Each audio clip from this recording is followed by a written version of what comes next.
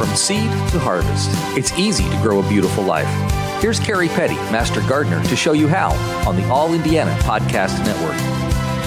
Welcome, beautiful people, to my August podcast. This is the month where we're harvesting, weeding, planting, and beginning to save and store up. Thank you for the All Indiana Podcast Network, and thank you for listening. This is Carrie Petty, Master Gardener, and this is Growing a Beautiful Life. Temp check. What kind of summer are we having this year? A family road trip summer? A beach bum summer? Or a wake me up when the sun sets summer? With Instacart, choose your own adventure and skip the shopping side quests. Where available, you can get ice cream delivered to your hotel, sunscreen to the pool, or cold brew to your bed. Well, door, in as fast as 30 minutes. Wherever you find yourself this summer, you can get the goods. Download Instacart for free delivery on your first three orders. Offer valid for a limited time. Minimum $10 per order. Excludes restaurants. Additional terms and fees apply. They say opposites attract. That's why the Sleep Number Smart Bed is the best bed for couples. You can each choose what's right for you, whenever you like. You like a bed that feels firm, but they want soft? Sleep Number does that. You want to sleep cooler, while they like to feel warm. Sleep Number does that too. Sleep Number smart beds also learn how you sleep and provide you with personalized insights to help you sleep even better. You have to feel it to believe it. Find the bed that's for both of you, only at a Sleep Number store. 9 out of 10 couples say they sleep better on a Sleep Number smart bed. Time to catch some Z's. JD Power ranks Sleep Number number 1 in customer satisfaction with mattresses purchased in-store. And now during Sleep Number's biggest sale of the year, save 50% on the Sleep Number limited edition smart bed, plus special financing for a limited time. For JD Power 2023 award information, visit jdpower.com/awards. Only at a Sleep Number store or sleepnumber.com. See store for details. Hey, everybody. Happy August 2024. I have to tell you, this is my favorite month. Our farmers markets are full of produce and our gardens are just teeming with beautiful eggplant and peppers and jalapenos and um, herbs that we can harvest and start storing and driving, drying and saving for our fall and winter stews. August is just the prolific um, kind of reap what you sow month. And one of my favorite things that the Farmer's Almanac talks about for the month of August is in the Farmer's Calendar is about how um, everything is so prolific. I will read, it says from the farmer's calendar, the profusion of zucchini, eggplants, and green peppers, basil leaves, tomatoes, and onions. Doesn't that all sound so good? And other vegetables that ripen now render waste a common affliction. Beautifully written, isn't it? You can't eat all of these at one time, so stew them into a ratatouille, then freeze in several portions. Size matters with zucchini.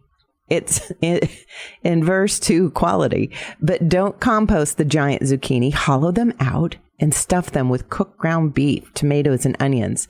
Top it with mozzarella cheese and bake. I am doing that tomorrow night after I go to the farmer's market. Surplus beans can be blanched in boiling water for three minutes, plunged into ice water to arrest ripening enzymes, and then frozen. I love that. Arrest ripening enzymes. So it stops the ripening process. Very interesting. I'm going to have to study more about that. Thawed and steamed, they'll taste almost fresh. Saute surplus tomatoes with basil, garlic, and onions and freeze or store in ball jars. One of my favorite things in the world is the classic ball jar. In the garden, garden, onions start in January, have now drooped to brown stalks, which means that the bulbs, which an onion is, an allium bulb, the bulbs are ready to harvest. You know, have you ever seen in the fabulous antique stores and some of the garden centers the, the onion braids? I love the old art of um, when the onion bulb is ready to pull and the brown stalk is um, fully ripened and kind of drooping over. You pull them out of the ground, but you keep that stalk on and you let them dry a bit and then you braid them into a long hanging braid and they look beautiful hanging on a pot rack. Same with um, peppers. You can keep the stems on peppers and braid them and hang big bunches. You want to lay them out individually first so that they can dry just a tiny bit before you braid them, but they can dry in the braid as well. But it, so therefore it says leave them in the sun for two days before storing them somewhere dark and cool for two weeks. And always remember to put your tools away. So important.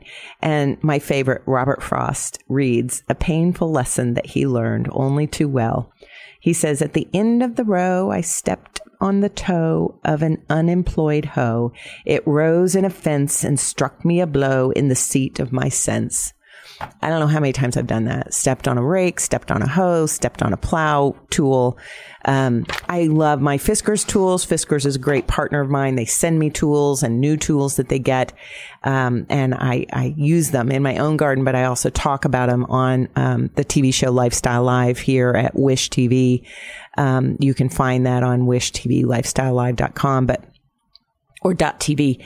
But Fiskars is just a great tool provider. And one thing I love about them is the handles are orange, so you're going to see them if they're laying in the dirt. I used to collect old antique, like brown wooden handled tools, and I loved to work with them. But by golly, I couldn't find them. They'd be in the garden and they blend right in. And sometimes I found tools the next season. So that's no good, right? But this is the time of year you definitely want to be thinking about weeding, planting, and saving. Why weeding? Well, weeds in the Midwest and across the U.S. are either annual or perennial. And the weeds definitely right now are setting seed. And if they set seed and you let those seeds drop, guess what? Next year, you're going to have more weeds. So you want to pull them and you want to pull them from the roots. Um, I sometimes burn them so that I can uh, prevent from using any kind of insecticide. But if you have a really good weeding tool, one of those long silver poles that have a little V hook on the front, you can plunge that deep into the soil and take a circle motion around the weed and then tip it to its side and pop those roots out. You want to get a root by a, a, a weed plant by her root, particularly the notorious thistle. Thistle is the bane of my existence right now. I don't know how I got it in the garden. She must have blown in or come in from a pollinator or a bird dropping or something. But there is thistle seed among my Russian, Russian sage perennial plant that I'm really furious about. And they have a really long taproot. But thistle needs to be eradicated pretty quickly because once its leaf gets big enough, it is as tough as anything else to kill off. It's almost as tough as poison ivy, which almost the only thing I use insecticide on is poison ivy because it needs a strong brush killer. Speaking of poison ivy, this is a time when it is pretty prolific in your gardens and in your woodlands. Um, make sure you're looking for um, leaves of three. You want to flee, but they have a notch in them. But the best way for me to tell people how to identify poison ivy is this Poison ivy has, it's a vine and it grows underground. And where there's one plant, you'll see other plants. And you don't want to just pluck off one. You definitely don't want to touch it anyway. But the center of that plant is red. And red is often a very strong indicator of something that's noxious in the garden. And same with animals uh, red banded snake or um, sometimes red insects. Red is a real indicator of something that's poisonous sometimes. So that red center on the poison ivy is a really good indicator. So make sure you're getting rid of that this time of year because it is growing, especially in the Midwest where we've had so much rain. I, I can't get over the amount of rain this year. How about you? Um, this weekend here in Indianapolis, Indiana, where I reside, it's going to be dry. So I'll be going out and deadheading all the mushy wet, gushy blooms that have faded and try to uh, fertilize everything because the water has rushed through my pots and through my plant root systems and washed out a lot of nutrients, right? When you get those flooding kind of rains. So it's a good time to fertilize again. I use a Miracle-Gro water soluble fertilizer or a fish oil fertilizer. The other thing, if you do see rain coming, particularly for your roses, um, to prevent fungus and black spot, you can use a granular fertilizer. I like Rose Pride, and I put it around my plants before I know a big rain is coming, and then it'll um, take it down into the roots. And it's a systemic, which means it takes it up into its system. Um, just like humans, we're systemic, right?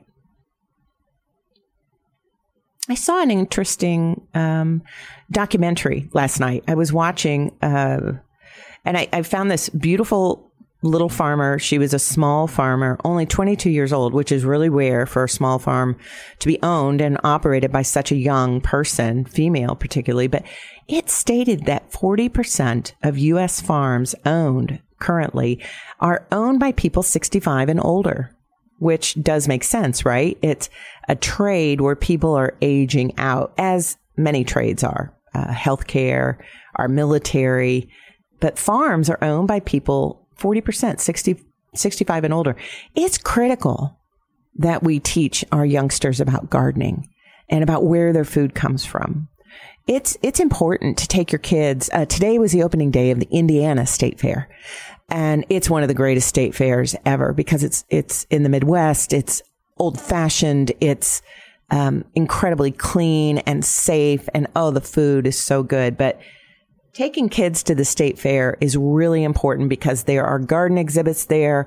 There is animal husbandry on exhibit there. And you can teach youngsters the pleasantness of growing their own food, raising their own animals and farming, quite frankly. We need more farmers. We have to start building communities that attract people and particularly attract young people.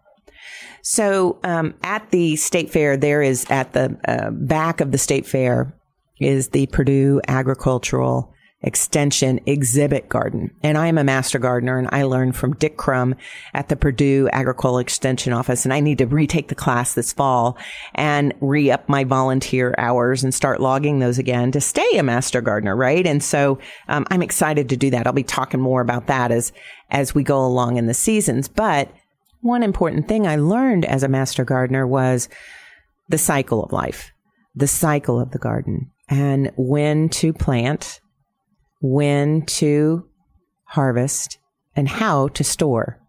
So, this is the time of year when you want to start saving your seed heads you want to start saving dried flowers for fall arrangements. You want to start canning your tomatoes.